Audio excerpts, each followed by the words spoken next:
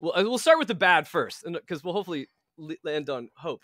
Uh, but uh, I'll say what what is scaring the hell out of you, and then what is giving you hope?